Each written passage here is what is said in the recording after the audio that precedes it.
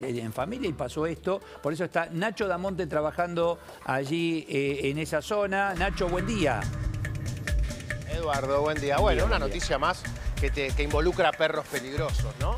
En este caso, la beba Jazmín, de apenas siete meses, se encontraba jugando en su casa en el municipio de Morón, cuando, según el padre Alejandro, el perro eh, comenzó a ponerse nervioso y saltó a atacar a la, a, a la beba, ¿no? Provocándole primero que le perforen el pulmón y además también que la rotura de una de sus costillas. Eh, hay algunos. Primero contar que acabo de hablar con, por mensaje con Alejandro, con el papá. Me dice que la beba está estable, está fuera de peligro, que los médicos son optimistas en torno a su cuadro y que es probable que en las próximas horas pueda haber novedades acerca de su, eh, de, de su salida del hospital. ¿no? Nosotros estamos trabajando en la puerta del Posadas. Eh, el perro, bueno, ha quedado a resguardo en la casa. Eh, Alejandro, el papá y dueño también del perro, dijo que siempre ha sido una mascota muy tranquila, que nunca se había presentado violenta, pero que aparentemente de un momento a otro eh, comenzó a, te- a- a sufrir un, un problema nervioso el perro, lo que provocó que eh, se la agarre con lo primero que encontró, que fue el cuerpito de Jazmín de apenas siete meses.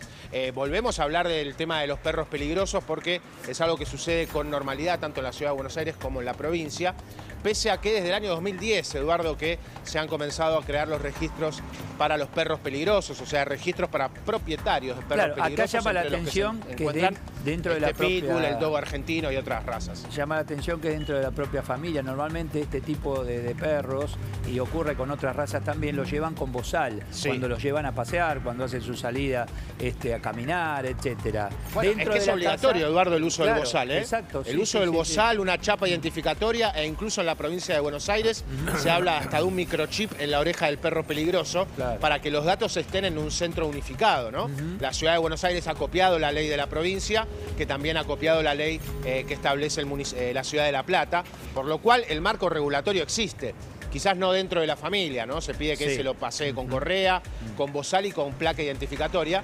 Pero creo, si no me equivoco, es de las primeras ocasiones en las que vemos que intrafamiliar se da un ataque de este estilo, ¿no? Sí, Recuerdo sí, hace unos meses una señora que volvía de comprar, también en la provincia de Buenos Aires, volvía de comprar eh, algo en un mercado local y, y la atacaron tres perros pitbull y no la mataron de casualidad, ¿no? Esos son los casos más normales en este tipo de Eh, circunstancias. estamos hablando de una bebé de meses y la situación decís, bueno, eh, grave o estable, de acuerdo a lo que te ha dicho el padre. Mira, eh, te cuento, lo hablé de recién, hace Sí, minutos nada más sí, con sí. Alejandro.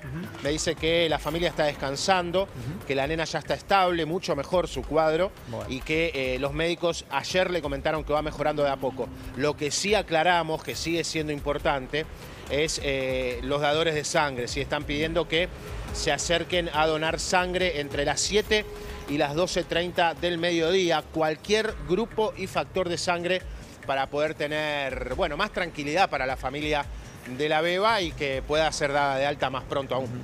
Sí, eh, pulmón perforado, costilla rota, más o menos nos damos cuenta eh, qué parte del cuerpo el perro atacó, ¿no? Este, a la criatura. Un cuerpito muy chiquito, Eduardo, chiquito, también, claro, ¿no? también, Eh, sí. Vos imaginate, mira, estaba leyendo eh, eh, en torno a la mordida del pitbull. Una mordida de un pitbull puede ejercer entre 1000 y 1500 kilogramos de fuerza. Mientras que una mordida humana apenas establece 30 kilogramos de fuerza. Como para que entremos en razón, ¿no? De Sí, sí, sí. cuando estos perros que eh, no son violentos por su naturaleza, sino que muchas veces los propietarios son que los, los que los convierten en violentos, eh, bueno, se terminan convirtiendo en armas asesinas, ¿no? Sí, Eh, sí, porque sí. se los entrena para peleas, porque se los mantiene encerrados, se los tiene para cuidar propiedades y eso provoca también un trastorno neuronal y, y psicológico en el perro. Ahora, fíjate- en este caso la verdad es que no sabemos. La Alejandro el padre me dice que, que- que es una mascota eh, tranquila, o lo Sí, era hasta el día de sí. ayer. A ver, si no, no la va a tener este, expuesta a su familia. O sea, eso Suelta, está- claro. uno supone que es así. Ahora, la expresión del padre es, antes veía desgracias de estos animales en la tele y ahora me toca vivirlo a mí. Eh, y con la chiquita internada, etcétera. Eh, es una situación difícil para la familia porque cuando vos tenés este tipo de animales o cualquiera, eh, lo integrás a la familia, ¿no? Este, nadie espera Bueno, que vaya a ocurrir eh, esto. Es lógico, ¿no? Pero Claro. volvemos a repetir que no son mascotas fáciles, Claro. que hay que tenerlas desde cachorros para que conozcan a la familia, pero es lo que sucede finalmente en la familia de Alejandro y de la Beba. Los tienen desde cachorro, pero de un día para el otro, sin saber bien por qué, el perro termina teniendo algún tipo de inconveniente que lleva a reaccionar contra la primera persona Sí. o, o lo primero que ve dentro de un, de un- de un lugar controlado, ¿no? Así que, eh, bueno, por lo menos la buena noticia de último momento, podríamos decir, es que la beba se recupera, eh, que ya están recibiendo dadores de sangre para que, bueno, eh, el alta pueda ser lo más pronto posible. Estamos en el Hospital Posadas, a metros nada más del acceso este, para aquel que se quiera acercar, se pone en contacto con la guardia, que pondrá- se pondrán en contacto con la familia para poder dar, dar sangre por la beba Jazmín. Bueno, eh, inmediatamente la han llevado hasta allí a la chiquita. eh, ellos viven en zona. Estamos hablando de una criatura de siete meses. Esto ocurrió durante el día, ocurrió en la noche. eh, no es lo mismo si estaban descansando que si estaban en pleno día y tal vez la chiquita jugando con, con el animal o el animal la, la sorprendió. Bueno, se sabe. Mira, aparentemente fue, fue, por la, fue por la mañana eh, y según lo que contó Alejandro, el animal andaba suelto por la casa, se alteró y atacó a la nena. El papá de Alejandro, al ver todo, casi ahorca al perro para liberarla, a la nena, pero en el hospital nos dijeron que lo necesitaban vivos. Esto tiene que ver también para comprobar si tiene rabia o si tiene algún tipo de enfermedad que, que pueda ser transmitida, en este caso, a la beba que terminó mordiendo. Pero bueno, como lo contaba el abuelo de la beba, ¿no? El perro estaba tranquilo y de un momento al otro, bueno, eh, Bueno. entró en este ataque nervioso que, que Ahí, ahí tenés un detalle importante. Cuando suele ocurrir estas cosas, incluso cuando se pelean entre perros, justamente no hay que agarrarlo del cuello, sino hay que hacer otro tipo de movimientos como para que suelte el animal, ¿no? Inmediatamente. Estamos hablando de que- Normalmente de que se los agarran hacen- de los genitales, se los aprieta bien y eso hace que suelte y deje de morder. Este, esa es la acción Mirá, lo que- que lo se que se lleva pide en adelante el que dicen registro, los que Eduardo, saben, no sé. Sí. Lo que se pide en el registro de, de animales peligrosos o de perros peligrosos es que los propietarios tienen que garantizar un cerramiento adecuado para proteger a las personas y a otros animales que están tanto en el interior de la casa como en el exterior. Y son muchas las razas de perros peligrosos, la ley 4078.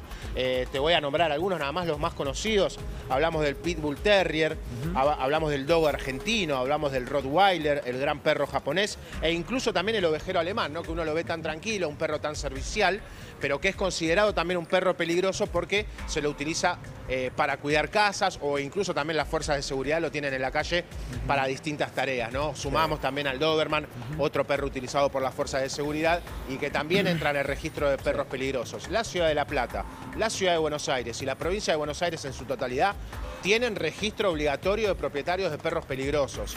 Eh, la gran mayoría de los ataques que se producen con estos perros son con perros que no están registrados. Gracias, seguimos trabajando allí. Cualquier novedad, eh, estamos con vos, eh, Nacho. Gracias, hasta luego. De nada, Gracias, hasta eh, hasta luego. Bueno, la información ahora nos lleva a un hecho policial. Estamos hablando de robo. ¿Se dice robo en manada, Gustavo? Buen día. Sí, buen día Sí. Eduardo Rubén.